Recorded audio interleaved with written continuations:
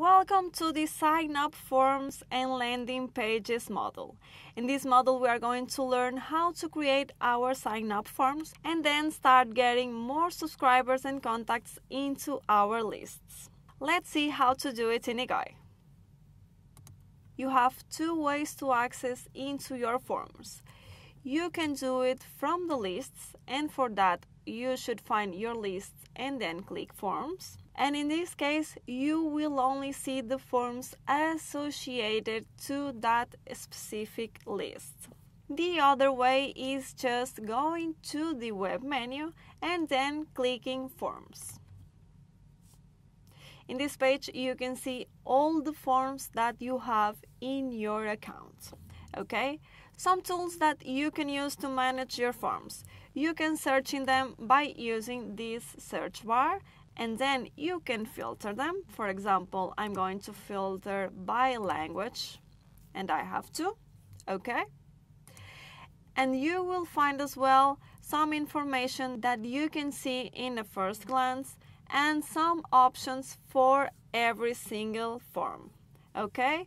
You can access the results from here and you can access to more options from this button okay you can edit deploy it get the link of the form preview it access the options of your form delete it and clone it. In this case I'm going to create a new one to show you how you can do it. For that I'm going to click create form. Then I'm going to select the list that I want to assign to it okay and my form language, in this case English, and OK. In this page you have some possibilities that you can choose as a base to work on. Okay, so you have a simple and small form that you can select and then edit. You have a large one, and then you have the landing page format. And if we scroll down, we can see some templates that we can use. For example, I'm going to select this one here. Okay, if I'm not okay with this one, I just have to click previous step, but I'm going to the next step. There we go. What do we have here? Most important thing, you have these two tabs and this one is your working area to edit your form and the other one is the working area to edit your layout, the visual of your landing page.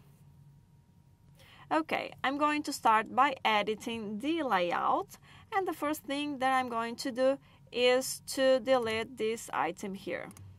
Okay, you can see that each item has some options such as move, add a new item, duplicate, and delete. In this left side, you will find elements that you can drag and drop to your working area. I'm going to select an image. Okay. And I'm going to select an image to insert here. Here I have my image. Okay, and I can click here and edit my type font. I'm going to select and change it. Okay, I want to change as well the color of that.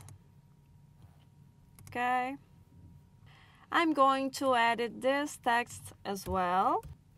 Then I want to center it, so I'm going to find the editor.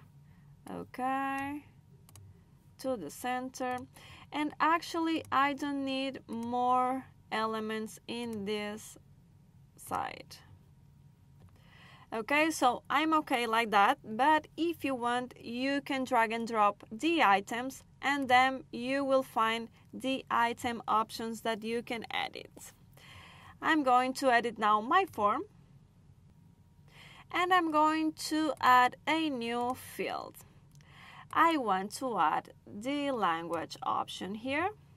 All right. And I'm going to just edit this phrase. And then I'm going to select another type font just to keep it all with the same style.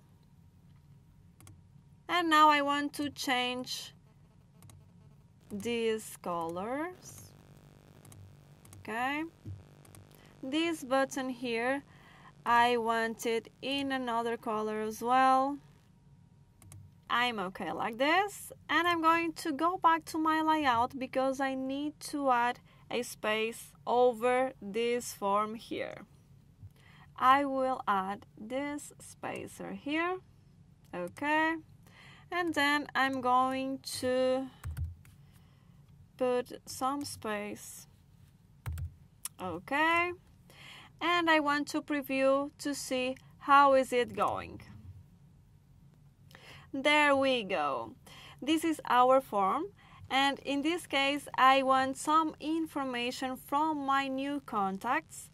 And actually they are the fields that you have defined in the options of your list.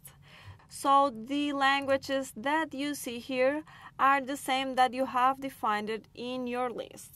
Okay? I'm okay like that. And let's just have a look in the options of our form. Okay, I'm going to type my title form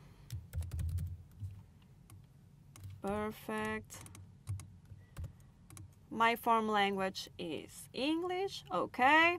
Then I can explore and define some other options here, such as the double opt-in option and if I activate it, I can edit here the email that my contacts will be receiving to confirm it, okay. I can add as well a tag to the people who subscribe this form and if you scroll down, you will find some other options such as limit subscriptions, the double opt-in email, for example. And you can define as well the message for subscription successful, failed, or confirmation. Okay, you just have to click customize and then you can do it on these spaces here okay? I'm going to save and now I want to deploy it. What are my options? I can see them by clicking here. And I can add another deployment. I will always have a link that I can copy and share it whenever I want. And if I want other options I will click add another deployment. And I will find here other options to make my form public. If you are not so sure about one of these options, just mouse over this question mark and you will see more information. I'm going to select the HTML because I want to show it in my website. Okay, and I'm going to select iframe. Then I need to copy this code here and I'm going to paste it in my WordPress website. What do I have to do? In this case, I'm going to look forward my page that I'm going to edit and I need a new content block. Okay, it will be an HTML1. Then I'm going to paste the code of my form here. Update. Preview and there we go. Here I have my form. If I want to make any change I just go to go back to the edition page and then update it. Okay so we have our sign up form in our website or just in our social media pages. Then I want to see how is it going. To see that I'm going to click results. There you go here we can see some results of a sign up form. What do we have here? We have an option to export our results and we can see the results as well in this page. So I can see how many visits it has, the rejection rate and the effectiveness. I can see as well the performance over time and we will find more information scrolling down. Okay, so here are the answers, the submissions, and we will find more information below. This information is related to the extra fields that we have in our form. Okay, so we have the number of subscriptions and its rate compared with the global results. Then I have information about the submissions, and here we can find the answers of our subscribers. And going forward to the last tab, we will find the results by deployment. What does it mean? We will see the way that we have deployed our form and then we can analyze the visit rate, the rejection rate, and the effectiveness rate. And to finish, we also have access from this page to our form that we can preview here. And we have as well the report for our double opt-in email.